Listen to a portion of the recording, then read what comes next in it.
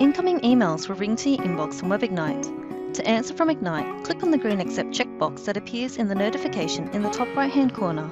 This will open the email in a reply all state. This notification icon appears only for a set amount of time. If the notification disappears, to answer the incoming email, ensure you're in the inbox on the left hand menu panel and clicked on the interaction to see the handling options.